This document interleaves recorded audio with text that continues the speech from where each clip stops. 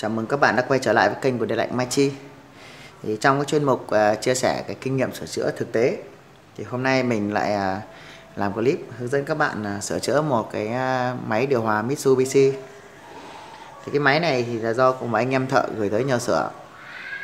Thì có nói uh, là hiện tượng máy là không nhận khiển, không chạy quạt dàn lạnh, đèn chớp liên tục. Cái máy này là máy công suất lớn 24.000 thì sau đây mình sẽ à, tiến hành kiểm tra và hướng dẫn các bạn sửa chữa cái lỗi uh, như anh em thợ người ta mô tả.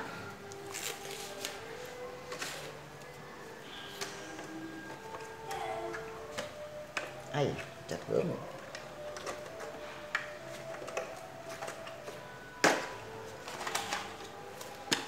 đấy các bạn nhìn.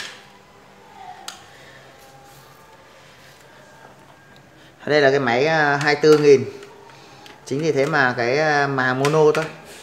Và chính vì nó là máy công suất lớn cho nên là các bạn thấy là con dơ le ở đây rất là bé. Dơ le cấp điện ra khối ngoài rất là nhỏ. Tại vì người ta có công suất lớn thì thường người ta phải sử dụng cái khởi động từ và sẽ cấp nguồn cho cái khối ngoài cục nóng. Đấy. Rồi sau đó thì người ta sẽ cấp cái từ ngoài cục nóng, người ta cấp cái nguồn nuôi vào trong cái nuôi mo mạch điều khiển này. Rồi nó sẽ cấp cái lệnh điều khiển à, khởi động từ thông qua dưa le bé này chạy ra ngoài. Chính vì thế mà con dưa le bé này nó rất là nhỏ. Rồi sau đây mình sẽ tiến hành à, tháo ra để kiểm tra xem nó hư hỏng như nào.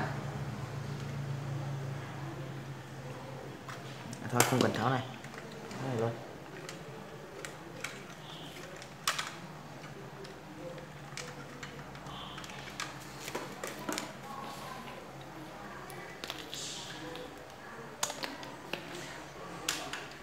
Mình sẽ tiến hành à, cấp nguồn xem nó như nào các bạn nhé.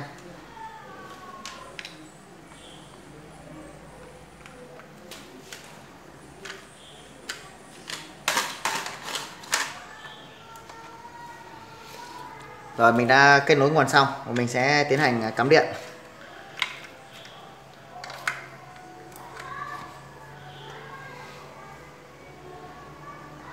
Rồi, các bạn nhìn này đây, đúng là hiện tượng như anh em nó nói, là hai cái đèn này nó chớp liên tục. Đó. và các bạn bấm nút auto đây, nó không chạy. Quạt, đứng yên. Thì cái hiện tượng này thì nó cũng ờ, khá là đơn giản. Lỗi này thì khá là đơn giản. Nhưng mà bạn nào không nắm được thì chúng ta không biết là nó hư hỏng liên quan vấn đề gì. À, chính vì thế mà hôm nay mình sẽ làm video clip để hướng dẫn các bạn cách ờ, khắc phục và sửa chữa cái lỗi liên quan đến chớp đèn liên tục như này đối với dòng ờ, máy điều hòa Mitsubishi. Đặc biệt là Mitsubishi Electric. Thì như cái chia sẻ của tài liệu uh, kỹ thuật của máy điều hòa Mitsubishi Electric mình đã chia sẻ cho các bạn ở trên cái uh, kênh YouTube của Điện ảnh Mai Chi. Thế nếu như bạn nào mà chưa có uh, biết ấy, thì chúng ta có thể xem cái video clip chia sẻ về cái à, gọi mã lỗi của điều hòa Mitsubishi Electric, thì trong đó mình có nói luôn đến cái vấn đề liên quan tới cái báo lỗi như thế này. Sau đây mình sẽ mời à, tất cả các anh em à, đồng nghiệp chúng ta, bạn bè chúng ta chúng ta tham khảo cái tài liệu trước. Rồi sau đó mình sẽ hướng dẫn cách xử lý. Mời các bạn chú ý theo dõi trên màn hình.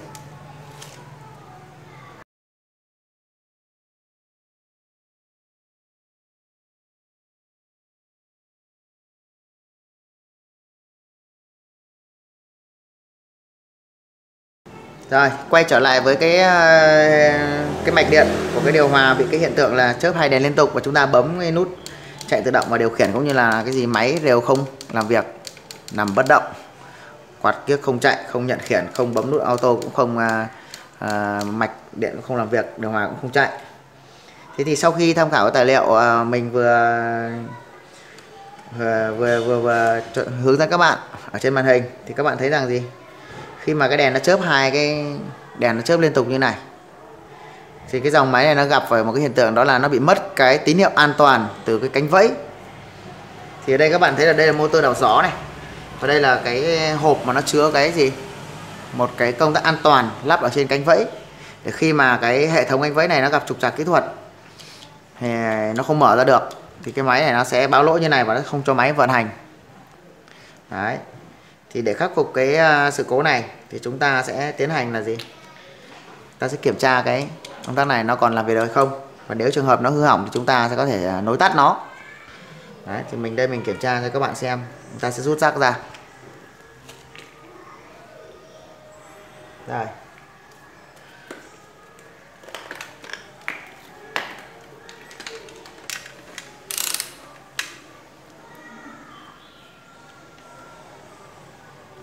Rồi đây, mình sẽ tiến hành à, đo cho các bạn xem.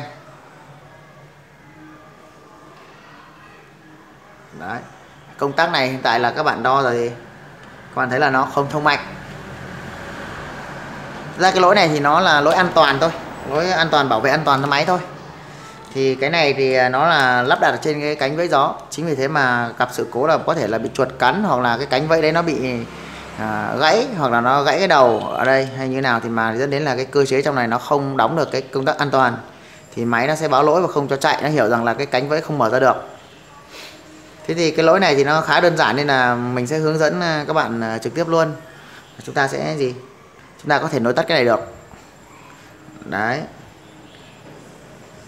Thì à, tuy là nó khá đơn giản nhưng mà nếu như các bạn không biết thì chúng ta cũng loay hoay ta cũng không biết là nó bị liên quan đến vấn đề gì, chúng ta cũng không check mã lỗi được. Nó làm sao à để mà chúng ta có cái hướng giải, sửa chữa và giải quyết cho khách hàng. Chính vì thế mà mình làm ra cái video clip này để hướng dẫn cho bạn nào chưa biết. Anh em nào biết rồi thì có thể bỏ qua. Còn bạn nào chưa biết chúng ta tham khảo thêm. Biết đâu một ngày nào đấy chúng ta đi gặp, chúng ta sửa chữa. Thì chúng ta cũng à, đâu đó chúng ta đã biết được à, cái máy nào nó gặp vấn đề liên quan tới cái gì và chúng ta sẽ có cái hướng giải quyết cho khách hàng. Rồi, sau đây thì mình sẽ thực hiện là nối tắt cái công tắc này vào để chạy thử cho các bạn xem là à, nó như thế nào nhá. Rồi đầu tiên mình sẽ rút điện ra.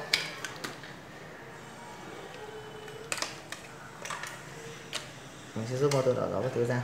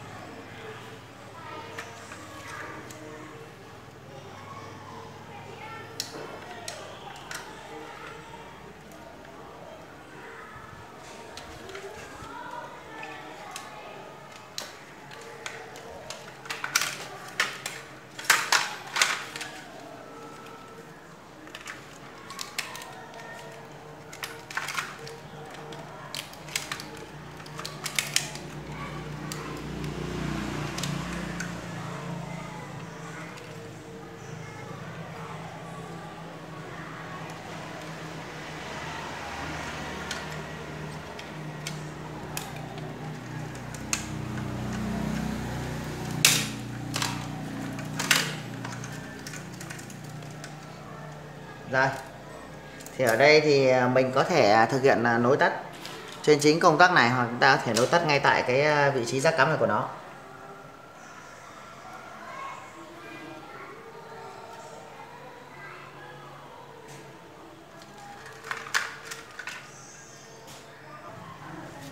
Rồi.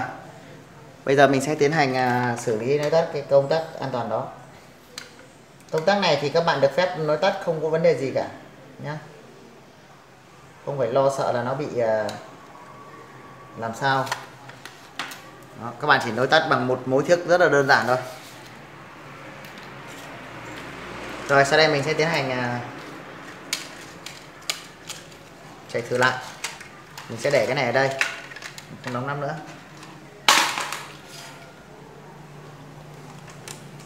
Rồi chúng ta cắm cái công tắc này vào cho đẹp thôi.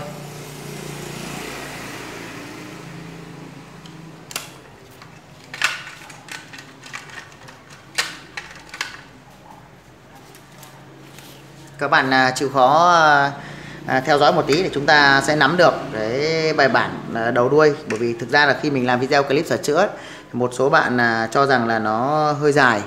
Thế nhưng mà theo mình thì nếu các bạn mình cắt ngắn gọn đi, thì có thể là người ta chia sẻ nó không thật sự là thật tâm. Bởi vì người ta có thể là xử lý như thế nào đấy như mình thì mình sẽ chia sẻ cho các bạn là trực tiếp để nếu bạn nào có đam mê về nghiên cứu về sửa chữa thì các bạn à, chú ý cố gắng theo dõi. Thì như thế các bạn sẽ nắm được đầy đủ cái việc mình à, từ việc mình khám mình xem hiện tượng máy hư hỏng như nào mình khám uh, bệnh nó ra sao rồi mình sẽ xử lý như nào thì các bạn sẽ nắm được mình nghĩ là sẽ tốt hơn. Đôi khi nó có thể nó hơi dài một chút các bạn uh, chịu khó. Tại vì sửa máy thì chúng ta học hỏi thì chúng ta nên chịu khó một chút. Khi mà các bạn là có một cái kiến thức tổng quát cũng như là kiến thức uh, tài liệu kỹ thuật à, hỗ trợ thì ờ, các bạn sẽ quan sát cái hiện tượng hư hỏng của máy. Thì từ đó thì các bạn có thể à, uh, thì sẽ có những cái hướng chuẩn đoán và sửa chữa một cái máy một cách rất là dễ dàng chứ nó cũng không khó khăn gì cả. Chính vì thế mà những cái video clip của mình là mình muốn hướng tới các bạn là chia sẻ cho các bạn để à, xây dựng một cái gì một cái kiến thức căn bản cũng như là một cái quy trình để chúng ta khám và chữa một cái căn bệnh của một cái máy chính vì thế mà mình hy vọng là các bạn là chúng ta cố gắng là chịu khó một chút. Chứ còn chúng ta học và học hỏi để nâng cao cái trình độ kỹ thuật thì chúng ta không tránh khỏi việc chúng ta phải mất thời gian công sức. Chứ chúng ta không thể nào nhanh được. Rồi sau khi mình à, quay trở lại cái mạch này thì sau khi mình đã nối tắt cái công tác an toàn nó lại rồi thì mình sẽ tiến hành cắm điện để à, kiểm tra. Và bây giờ mình sẽ sử dụng cái bóng đèn này để mình à, thay thế cái à, à, cái cái lệnh đóng ở cái khối cục nóng ở bên ngoài.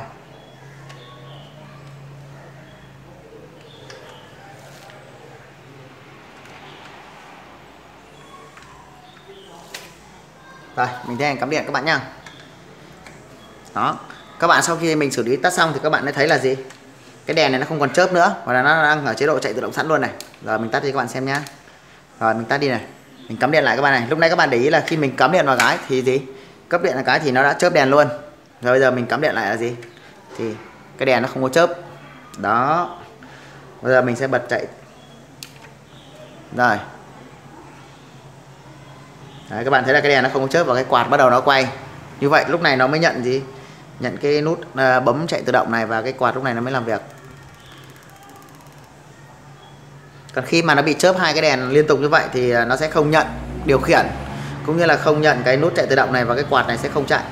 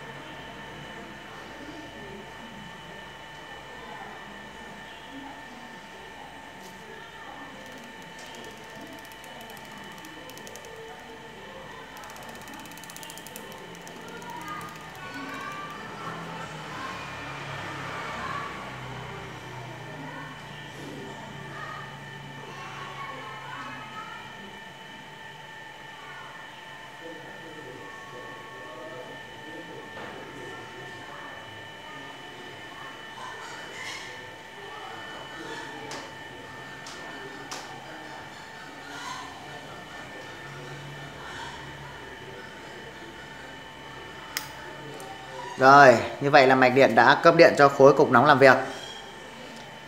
Và như vậy là mình à, đã vừa rồi mình đã chia sẻ cho các bạn cái cách xử lý một cái à, ban bệnh khá là vô cùng đơn giản của dòng máy điều hòa Mitsubishi đó là cái à, lỗi mà cấp điện lên, cấp điện cho máy thì đèn led hai đèn chớp liên tục và chúng ta không bấm được điều khiển cũng như là không thao tác được gì đối với máy một cái căn bệnh vô cùng là đơn giản đối với những người biết và cũng khá là khó khăn đối với những người không biết. Vì nếu chúng ta không biết thì chúng ta khá là loay hoay không biết là nó gặp vấn đề gì lỗi gì để chúng ta xử lý. Và video của mình đến đây là kết thúc rồi. Một lần nữa cảm ơn tất cả các bạn đã dành thời gian quan tâm theo dõi video của mình. Hy vọng là video của mình có thể giúp ích được một số bạn để chúng ta có thể tham khảo thêm. Và nếu như các bạn thấy video của mình uh, chia sẻ hữu ích thì hãy like video khi đang xem. Và nếu bạn nào chưa phải là thành viên của kênh Điện lạnh Mai Chi thì hãy đăng ký là thành viên của kênh Điện lạnh Mai Chi và nhớ bật biểu tượng à, rung chuông ở cạnh nút đăng ký để nhận được những chia sẻ mới nhất từ kênh của mình. Và thời gian tới nếu như có thời gian thì mình sẽ cố gắng làm ra thật nhiều video clip về tất quan bệnh của tất cả các cái hãng mà chúng ta thường gặp cũng như là những cái tài liệu kỹ thuật chính hãng chia sẻ cho tất cả các anh em đồng nghiệp chúng ta cùng tham khảo để cùng học hỏi thêm. Và mình xin kết thúc cái video ở đây. À, chào tạm biệt tất cả các bạn và hẹn gặp lại các bạn ở các video chia sẻ tiếp theo của mình